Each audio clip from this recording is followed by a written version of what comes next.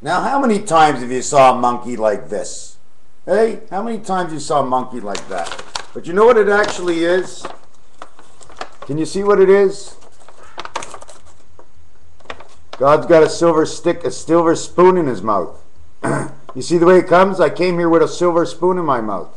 Don't you see it? I'm sticking it out at everybody. I'm laughing at all the monkeys. Excuse me. I'm still smoking. It's uh, 4.30 in the morning, 4.40. Since I changed my whole diet, I don't need to sleep as much as I used to. That's a bipolar trait. Um, but I am getting to sleep seven hours a day. Seven, well, actually, uh, between seven and nine, and I do take an afternoon nap for two hours.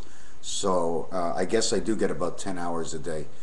And but my mind is always relaxed because all I'm doing is putting the house in order, and I repeat it all the time. Now listen to this news bulletin: spermazoid, the killer of all. If you don't get rid of your daily sperm, if you're horny all day, right, you need to have sex with your wife. You must get rid of that sperm out of your body. It wants to do something. It builds. If it doesn't build in her, it's going to build in you. You must eliminate it. Now, if you have sex with a hooker or anything else in treason, because that's all treason, my friends, the trees, and you're in the tree of another house. Okay, the trees are in. You don't enter into another house. When you're, excuse me, when your dickhead, okay, enters into a valley, now if it knows it's covered in plastic, okay, it's going to think of one thing because this whole system is a plastic system. That's one of the reasons for all this oil. It's a lot more than you think. This is all about plastic and copper and about there's a lot more elements included in it. But spermatozoid, what happens when it gets into the woman, it goes into the egg and it builds. Okay? It takes the egg and it builds. And it uses the egg shell to create the head of the person. And I'm not quite sure where the other part goes unless it's broken up the rest of the egg and using little pieces for your backbones. You don't have to believe me, but the sperm builds. It's a creator. So prostate cancer, I can't really explain the mustache and everything. There's just so many things, but prostate cancer has to do with you building, okay, and giving directives to your body of what you want. So when your sperm knows you want to destroy, it's going to destroy inside of you. If you go have sex with somebody, it's going to cause an aid because they're aiding to destroy. Because your whole concept of what your life is about is to destroy. Now, once we start having sex with everybody, well, that once that spermatozoid starts to destroy, eh, you're out of trouble. You got to cut your two nuts off. That's the only thing I can tell you. Okay, if you start playing around and you get cancer, you got to take your two nuts off. Okay, because that's what cancered you. But you, don't you know the white blood cell count? What color is the sperm? What color is the actual white blood cell? Check that white blood cell up against the sperm and see what you get. Okay. Now, obviously, you're going to say, yes, yes, I know, uh, because it's in the body. No, no, no, you don't know. You don't understand the system. According to my book, the system works in a way, in a passionate way. It's always passionate. If you do bad, your body's going to do bad because that's what you're teaching it. That's the way it works. God says love. It's not part of you. It's all of you or none of you. That's the way it works. Okay? You want to act like a monkey. You want to turn upside down. Now, God gave you a hand. If you have to go pay a hooker, didn't He give you a hand to do everything? Well, He gave you a right hand and a left hand. Oh, the left hand says it's wrong, so grab your right hand and go. If you got to get rid of it, don't go to a hooker. You can't. You can't.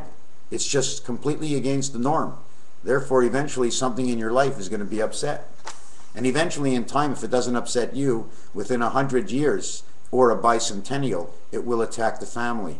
That's how it works. It works all in quarterments of 25, and the total is 225, in which we never use the other 25. We only use 200 of the years. Out of the nine lives of the cat, okay, which should total 225, 25 we don't use. It's the passage of where we are. It's the five position, where we are. That's who we are. The R system. Look it up. That's us. That's what's happening in our brains. That's why all these kids are the way they are. In Liverpool, they gave them drugs back in the 60s, and that's why the Beatles knew everything they knew. They were able to beat the system in their mind by coming out in music. When you keep information inside your mind or you don't know what to say and it stays bottled up, it goes works against you. But when you put it out on paper and you sing it, you're singing a lullaby of how you feel inside. Therefore, you're going to start discovering more and more and more. And your existence, once you pass 27, your existence is not the same. So they had to take him out because he was older than was he older than 27? How old was John Lennon when they took him out? 1963, 1953. How old was he? Because 18 is the inception of the system R. So he had to be older than 18. Um, life is at 22, so they might be inflicting it at the age of 22 because 23 makes the creation, and by 24 it's inside of you. So then it can recreate because at 25 we start having the kids. It's all increments of 25, this whole system. And then you can start taking off and adding. If you're playing tennis, you're adding on uh, 15 in the first points, 15 love, and then it's 30 love. So you're so you're still loving, and then it's game, love. Now the word game is God, angel, man in the E world. That's what it is. And not only that, game is 7, 8, 21. Game is a total of 26. So the so the actual uh, game, oh my God, game queen, it's not game king, king me. It's not game king, it's game queen. Game is 26 and queen is 62. Oh my God, 26, 62, 6, 22, 6. Oh my God, here it is. For all those who are wondering about the universe, what it is, 622, 6.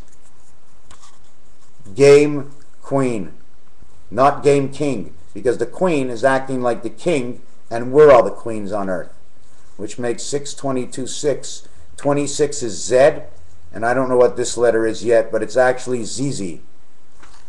Like ZZ Top and the Long Beards. ZZ Top and the long beards. Long beards, long beard. So um, if you don't understand what I'm saying, these numbers, if, if you know people to talk to about these numbers, these numbers are very relevant on this earth. And about that spermazoid, okay, if you don't check it out and get rid of it, the minute you're horny, right, and it starts to build up, it means it has to exit or it's going to start working in you. And you have to control it. It's okay, you can always control it. But it's better that it empties because your mind is always thinking different. It's your mind that gets you horny. It goes right down into your nuts and it drives you nuts. It drives you crazy. Okay? So it's got to be eliminated or conquered. Now the best the best way to conquer it is to eliminate it. I've been able to conquer it, but I can also eliminate it. Because why build up pressure for no reason at all? How is your blood pressure after sex? Having sex between the blankets is I'm not even sure if that's right actually because you want to see who you're loving. You don't want to make like it's in the basement and you're, you're having sex to the other world. I think they switched something up in the Bible somewhere you see because it never says in the Ten Commandments that a girl has to sleep between a blanket. It never said in the Ten Commandments we have to wear hats. It said we have to respect our God. It didn't say to wear his hat. It didn't say anything about the Bible stuff. Nothing at all. All this sex and everything, it's all it's all misunderstood. 613 laws actually uh, might be another code for something else. And unless somebody asks me, and I'm asking you, please ask me, do not make me remember everything. If you need to know something, ask me. You're always going to get an answer. You will be satisfied because I'm going to give you one on the left and I'm going to give you one on the right. You just figure out the rest. It's all up to you. We're all individuals in this world. It's all up to all of us. And like I said in the earlier videos, I stand tall in everything, on everything. We're being fooled by machines that are created for us to tell us things. My blood pressure read 155 over 89 and my heartbeat was 80 and I felt like a million dollars. So if I drop dead in the next couple of days, well, que sera, sera, right? My videos will still live on. I'm going to make sure that there's somebody else, somebody behind me and somebody behind whoever's behind me. Because we stand for thee. Is he, is she, is he. Okay? We stand for the Lord.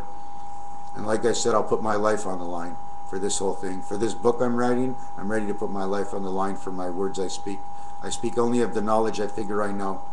It's only the knowledge I calculate what it is to be. It's no more than a calculation, a mathematical calculation. Whatever I tell anybody, it's all calculated mathematically. And I have to shoot the numbers back and forth until I balance it out to understand it. But in all actuality, everything I say is only hypothetical. Now, when I'm talking about the sperm and stuff, you go check that out.